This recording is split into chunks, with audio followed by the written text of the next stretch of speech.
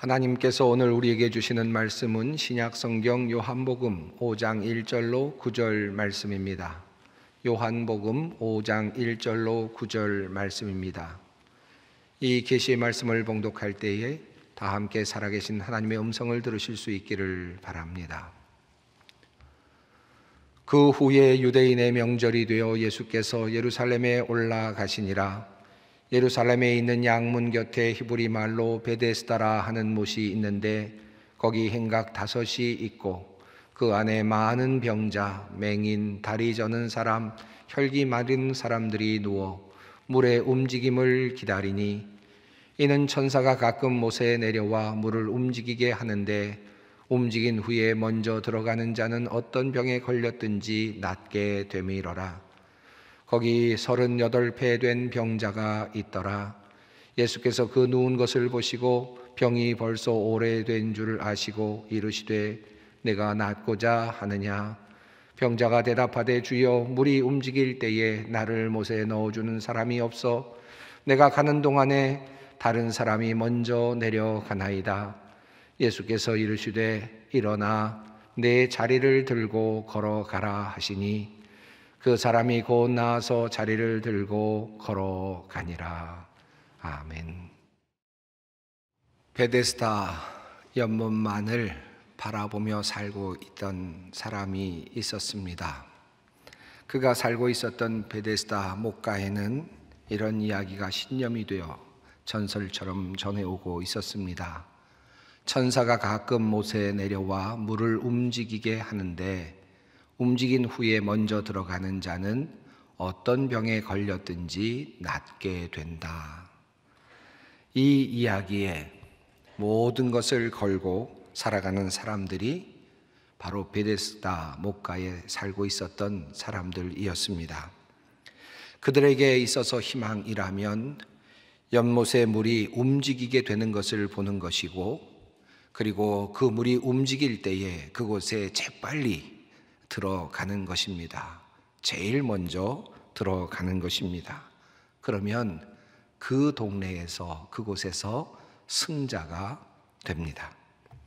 마치 오징어 게임을 연상시키는 그런 동네가 바로 베데스다라는 연못가였습니다. 모두가 그 못에서 승리를 꿈꾸면서 그리고 승자가 되기 위해서 기다리고 있었습니다. 그런데 그 게임에서 판판이 패자가 되어 왔던 한 사람이 있었습니다.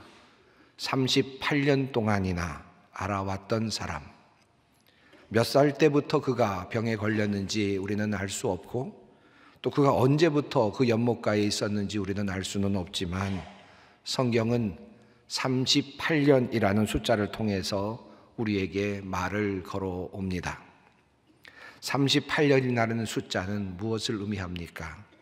38년이라는 숫자는 바로 이스라엘 백성들이 광야에서 약속의 땅에 들어가지 못하고 방황하며 유리하였던 바로 그 고통의 시간을 의미합니다.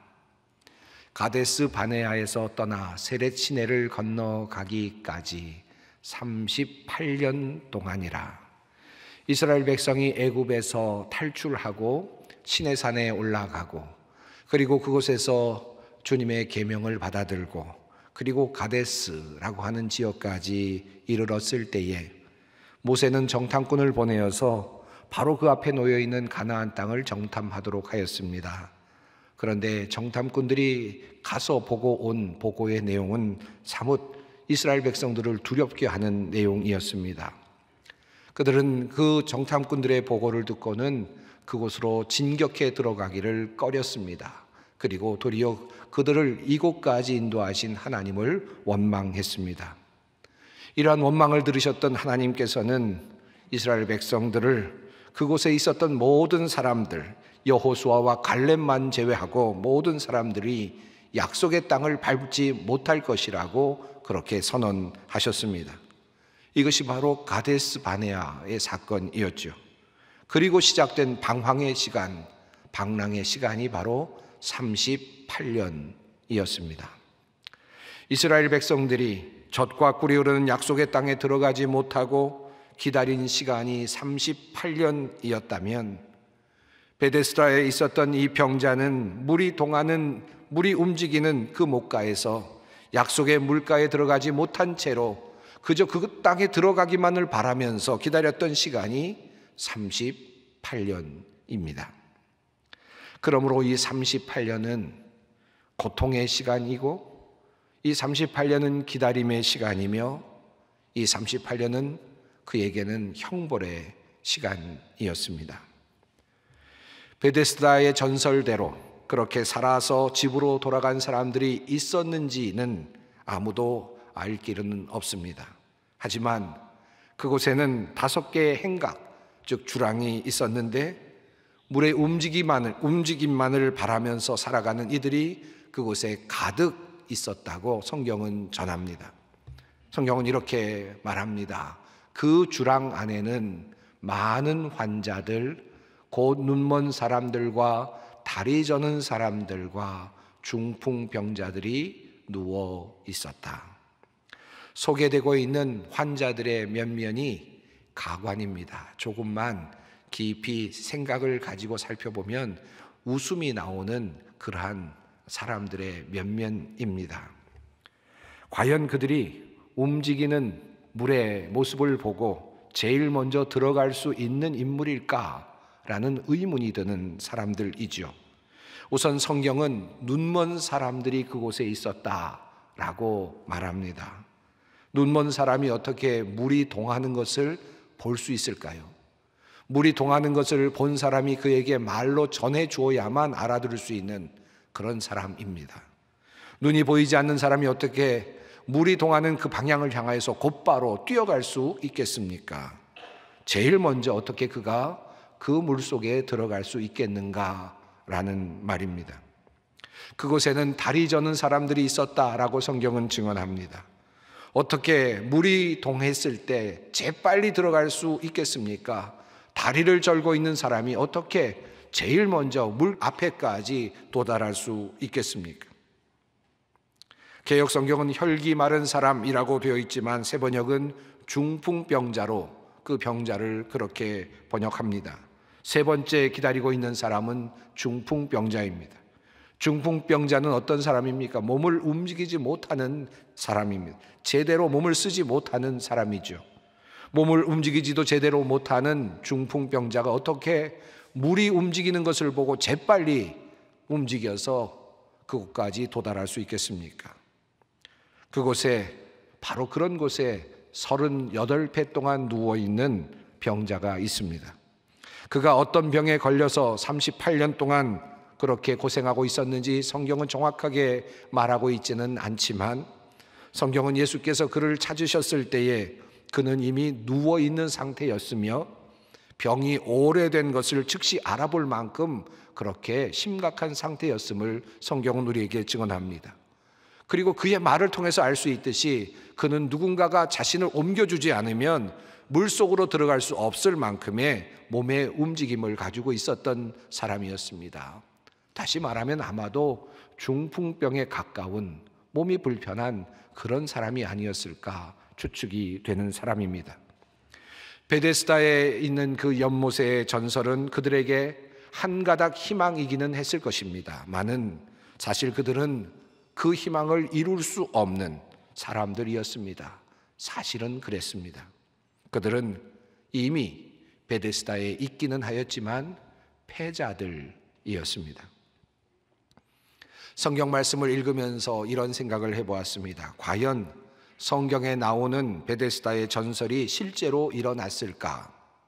일어났을 수도 있고 일어나지 않았을 수도 있겠죠. 하지만 지금 그렇게 누워 있는 사람들, 앞을 보지 못하는 사람들, 다리 저는 사람들에게 과연 그것은 정말 진정한 해결책이었을까? 진정한 희망이었을까? 사실 그들은 이미 실현 불가능한 희망을 붙잡고 있을 뿐이었습니다. 또 한 가지 베데스다 연못에서 전설 하나 붙잡고 살고 있는 그러한 사람들을 보면서 그것이 혹시 오늘을 살아가는 우리들의 모습은 아닐까 하는 생각을 해 보았습니다. 갑자기 물이 동할 때에 물이 움직일 때에 그 연못으로 들어가는 사람은 그가 어떤 병에 걸렸든지 나을 것이라는 이 전설, 이 신념이 베데스다의 연못의 소망이었듯이 우리는 어쩌면 또 다른 비슷한 그와 같은 전설을 또 다른 그와 같은 비슷한 신념을 소망으로 붙잡고 그렇게 살아가고 있는 존재는 아닐까 하는 생각입니다. 부자가 된다면 어떤 문제가 있든지 너는 그 문제를 해결할 수 있게 될 것이다. 라는 전설. 그런 신념. 네가 예뻐지기만 한다면 아름다워지기만 한다면 너는 어떤 문제든지 해결할 수 있을 것이고 결국 너는 성공하고 말 것이다 라고 하는 또 다른 신념, 또 다른 전설. 혹시 이 신념이 우리들의 마음을 흔들어 놓고 있는 새로운 베데스다의 전설은 아닐까 하는 생각이 들었습니다. 내가 얼마쯤 돈을 가지고 있으면 우리를 불행하게 하는 모든 문제로부터 자유로워질 수 있을까요? 얼마나 나의 기업을 크게 만들게 되면 그 모든 문제로부터 자유로운 상태가 될 수 있겠습니까? 얼마나 큰 권력을 가지게 되면 나는 모든 문제로부터 자유롭고 행복한 존재가 될 수 있을까요? 얼마나 인기를 누리게 되면 얼마나 아름다워지면 나는 정말 충분히 행복한 그런 존재가 될 수 있을까요? 물이 동할 때 들어가면 낫게 될 것이다 라고 하는 베데스다의 전설은 그곳의 전설뿐 아니라 그것만의 전설이 아니라 우리에게 다가오는 또 다른 전설이기도 합니다. 그리고 우리는 각자 가지고 있는 이와 같은 전설, 이와 같은 신념을 마치 진실로 믿으면서 무한 경쟁의 굴레 속에 들어가 지금도 살아가고 있지 않은가 하는 생각이 들었습니다. 그런데 문제는 성경이 지적하듯이 그 속에 그 무한 경쟁의 굴레 속에 들어가 있는 사람들의 면면이 가관입니다. 눈먼 자, 저는 자, 그리고 중풍병자. 낙오자가 될 수밖에 없는 이들의 첨예한 경쟁의 자리에서 그래도 싸워보겠다고 붙들고 있는 모습이 바로 우리들의 모습이 아닌가, 나의 모습이 아닌가, 성경은 우리들에게 알려주고 있는 것 같습니다. 전설을 희망으로 삼으며 되지 않을 것을 될 것으로 기대하며 살아가고 있었던 베데스다에 예수님께서 방문하셨습니다. 이것이 오늘 본문이 우리에게 전하고 있는 획기적인 변화입니다. 예수님은 누워있는 한 병자를 보셨고 그리고 이미 그가 오랫동안 병을 앓고 있다는 사실도 간파하셨습니다. 그리고 그에게 한마디를 건네십니다. 내가 낫고자 하느냐. 그러자 그 병자는 예수님께 이렇게 대답합니다. 병자가 대답하되 주여 물이 움직일 때에 나를 못에 넣어주는 사람이 없어 내가 가는 동안에 다른 사람이 먼저 내려가나이다. 이 병자의 말 속에는 원망이 가득 차 있습니다. 그는 지금 낫고자 하는 열망보다는 다른 사람에 대한 섭섭함과 그리고 원망이 더 크게 작동하고 있습니다. 처음에 그에게는 그에게도 낫고자 하는 마음이 있었겠죠. 하지만 시간을 두고 계속해서 그의 희망이 좌절되는 경험을 하면서 그는 자신이 갖고 있던 그 희망 자체를 잃어버린 채로 사람들을 원망하고 그리고 환경을 탓하고 있습니다. 나도 누군가의 도움을 받기만 했다면 나도 버젓이 이곳에서 살아서 나갈 수 있었을 텐데 라고 하는 그와 같은 원망이 그의 마음 속에 가득했습니다.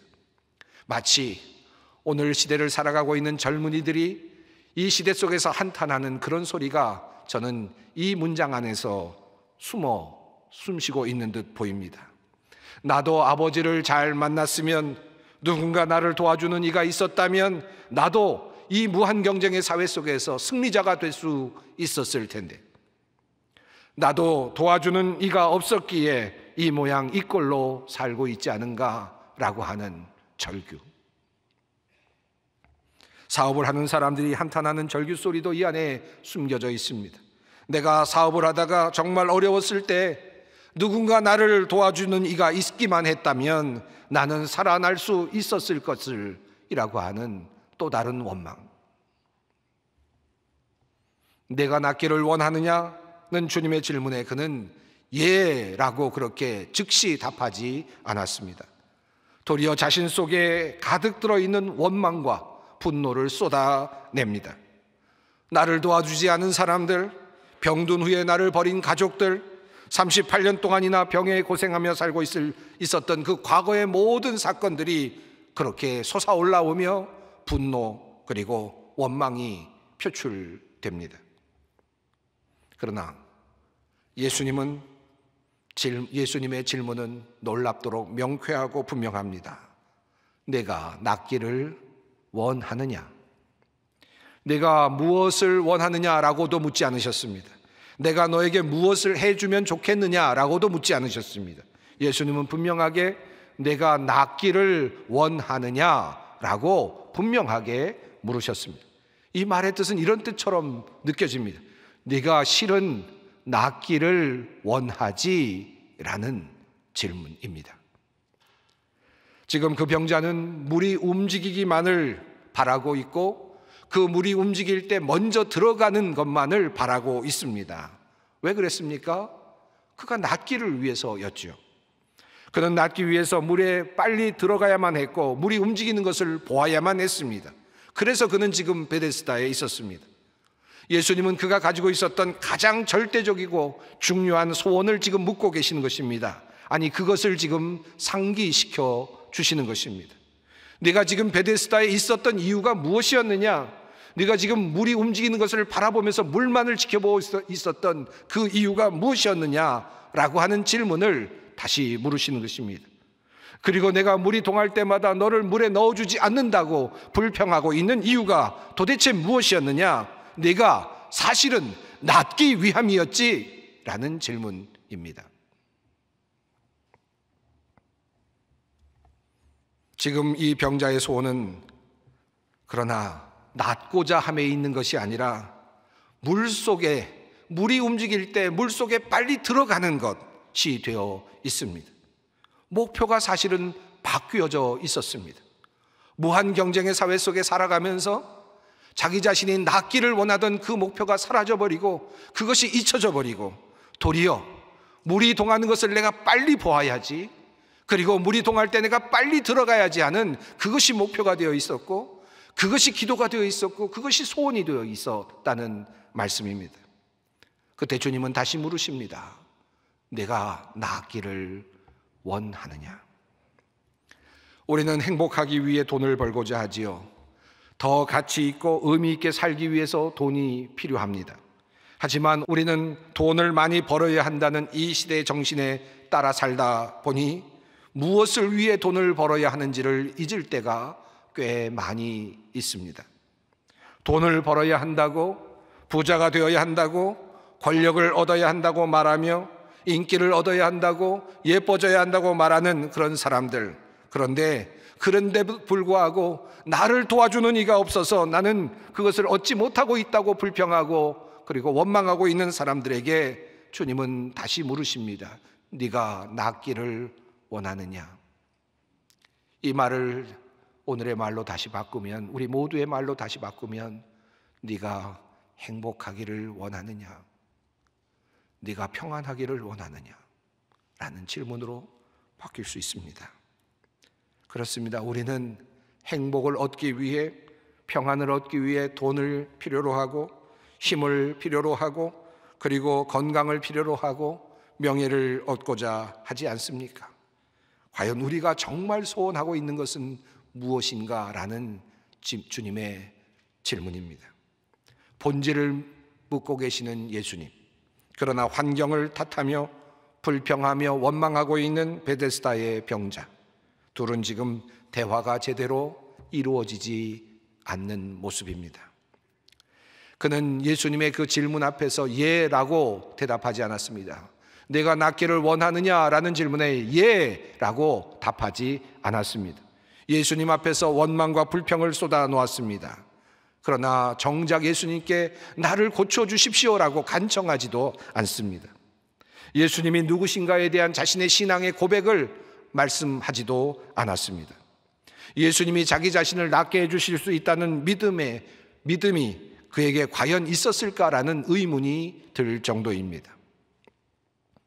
요한복음에 따르면 38년 된 병자를 고치시는 이적은 예수님의 두 번째 병자 치유의 이적으로 나타납니다. 바로 앞에는 왕의 신하의 아들을 고치시는 병고침의 사역이 있습니다. 그러나 이때는 왕의 신하의 분명한 요청과 그리고 고백이 있습니다. 그 이야기에 따르면 왕의 신하가 예수님을 찾아왔고 예수님께 고쳐달라고 간청하였다라는 것입니다. 요한복음 4장은 이렇게 증언합니다. 그가 예수께서 유대로부터 갈릴리로 오셨다는 것을 듣고 가서 청하되 내려오셔서 내 아들의 병을 고쳐 주소서 하니 그가 거의 죽게 되었습니다. 그런데 이와는 달리 38년 된 병자는 예수님께 나아가지도 않았습니다. 그분께 고쳐달라고 요청하지도 않았습니다. 도리어 환경만을 탓하며 자신을 도와주지 않는 사람들에 대한 원망만을 표출하고 있었습니다. 그런데 예수님께서는 그런 병자에게 은혜를 베풀어 주십니다. 왜 예수님은 신앙 고백도 제대로 하지 않고 예수님께 고쳐달라고 요청도 하지 않는 일을 도우셨을까? 병자의 마음 속 깊은 곳을 감찰하셨기 때문이 아니었을까요? 병자의 마음을 들여다 보셨기 때문입니다. 얼마나 많은 맺힌 한이 있었을까요? 억눌렸던 그 울분을 참았다가 어린아이가 엄마 품에 안기듯 하는 말과 같습니다.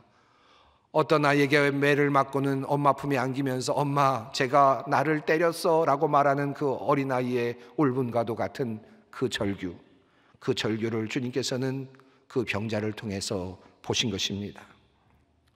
자신에게 주어진 그 슬픔을 주님 앞에 내어놓으면서 토해내고 있는 그러면서 하나님 주님 앞에 말하고 있는 병자의 모습입니다. 아마도 이렇게 말하는 순간 그 병자는 울고 있었을지 모릅니다. 너무 억울해서, 너무 외로워서, 너무 지쳐서 그는 지금 울고 있습니다. 누구도 나와 함께 하지 않는다는 슬픔 속에서 예수님께 말합니다.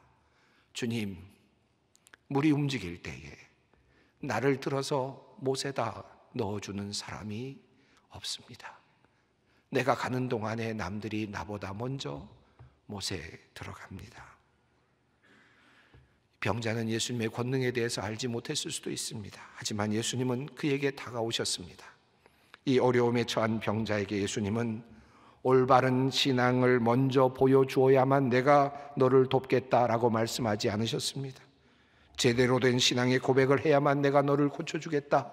라고도 말씀하지 않으셨습니다. 예수님께서는 고통당하고 어려움에 처한 꼴찌 같은 그 병자에게 무조건 다가오셨고 그의 억울함을 들으셨고 그리고 그, 그가 낫기를 희망하고 있다는 사실을 확인하십니다. 그 마음 속에 있는 그 절규를 보고 말입니다. 그리고 주님은 말씀하십니다. 내 자리를 들고 걸어가라. 예수님은 남의 탓을 말하고 있는 병자에게 두 가지를 명령하셨습니다. 우선 일어서 내 자리를 거두라는 명령입니다. 이 자리는 가난한 사람들이 주로 사용하던 침상을 의미합니다. 하지만 이 침상은 단지 잠을 자던 침상을 넘어서는 의미입니다. 이 침상은 자기 자신의 무기력함, 비굴함, 분노, 원망이 모두 들어있는 바로 그 자리입니다. 남을 탓하던 자리, 그리고 무력한 자신의 모습, 그것을 바라보고 있었던 참으로 비통한 그 자리입니다. 그 자리에서 일어나라 라는 주님의 명령입니다. 그리고 두 번째로 주님은 걸으라 라고 그렇게 명령하십니다. 스스로 일어나 스스로 걸으라는 주님의 명령입니다. 누가 걷지 않고 싶었겠습니까? 처음에 걸어보려고 얼마나 많은 노력을 이 병자도 했겠습니까마는 그러나 어느덧 이제는 걸어볼 생각도 하지 않으며 살고 있는 이 병자를 향하여서 자리를 치우고 비우고 일어나 걸으라고 주님은 명령하십니다. 여기에서 우리가 한 가지 깊이 생각해 볼 내용이 있습니다. 그가 이미 걸을 수 있었는데 그냥 걷지 않고 누워 있었다는 말일까요? 그의 몸은 이미 나아 있었는데 그것도 모른 채 심리적으로 그저 그러죠 몸을 움직이지 못하면서 살고 있었다는 말이겠습니까? 그가 얼마나 걸으려고 했겠습니까? 하지만 그는 자신의 힘으로는 자신의 결단만으로는 결코 걸을 수 없는 상태였습니다. 그렇게 그는 38년을 지내왔습니다. 그러나 이제 주님의 명령이 주어집니다. 자리를 치우고 일어나 걸으라. 라는 주님의 명령. 이 말씀이 병자의 귀에 들리고 그의 마음 속에 들어오는 순간 그리고 그가 그 말씀을 듣고 움직이려고 하는 순간 그의 다리에 그리고 그의 몸에 힘이 붙기 시작했습니다. 이것이 하나님의 능력입니다. 주님의 말씀이 그를 살린 것입니다. 우리는 그렇게 믿습니다.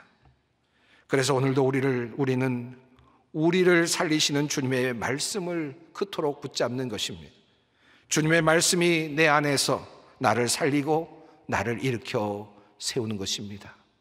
내가 일어나야 되겠다 결심하는 것으로 내가 일어날 수 없습니다. 내가 이 자리를 치워야 되겠다 내가 결단하는 것만으로 그 자리를 치워낼 수 없습니다. 주님의 말씀이 내 안에 들어와 그것이 명령이 될 때, 살아있는 말씀이 될 때, 그 말씀을 따라 순종할 때 그것은 능력이 되고 나를 바꾸는 것이 되고 나를 변화시키는 힘이 됩니다. 말씀에 순종할 때 우리는 주님의 기적을 경험합니다. 38년 된 병자가 바로 그 기적을 경험했습니다. 오늘 이 말씀이 여러분 모두에게 능력의 말씀이 되기를 바랍니다. 마지막으로 주님의 말씀을 읽어 드립니다.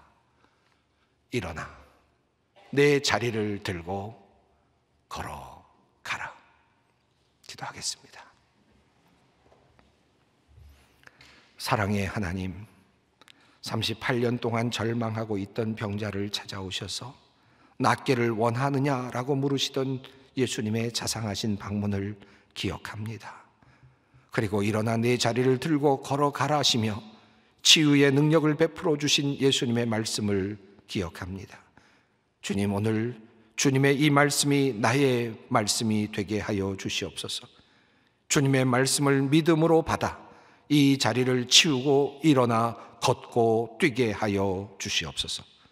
주 예수 그리스도의 이름으로 기도드리옵나이다. 아멘.